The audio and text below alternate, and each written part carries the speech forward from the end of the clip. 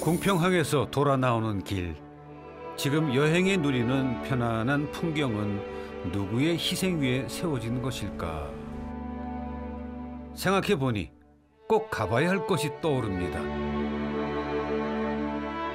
혹시 제암리 학살 사건에 대해 알고 계신가요? 일제강점기 화성의 제암리라는 작은 마을에서 벌어진 너무나 잔인했던 사건입니다.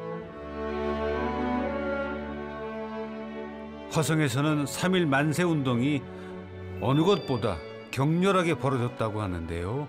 화성 전역에서 2천여 명의 주민들이 들불처럼 일어나서 만세 운동을 했다니 대단했습니다.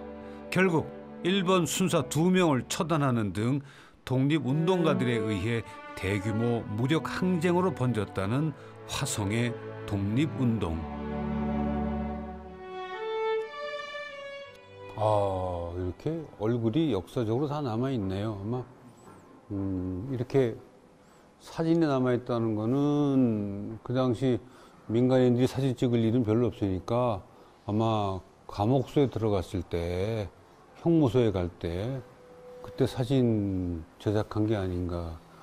음, 송산 서신에는 홍씨들의 집성촌이고 이게 성씨들이 마을마다 달라서 음, 독립운동이 가능했던 이유는 집성촌이기 때문에 제 생각에 어느 마을 집안의 어른이 나서면 따라서 나설 수 있는 그런 힘- 힘이 아닌가.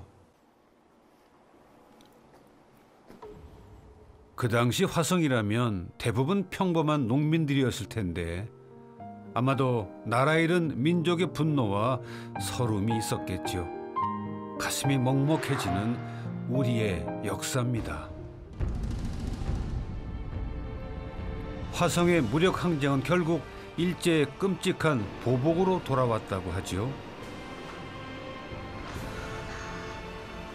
만세 운동에 참여했던 제암리 주민들을 교회로 모아 가두어 두고는 총을 쏘고 불을 질러 무려 23명을 참혹하게 살해하는 만행을 저질렀습니다.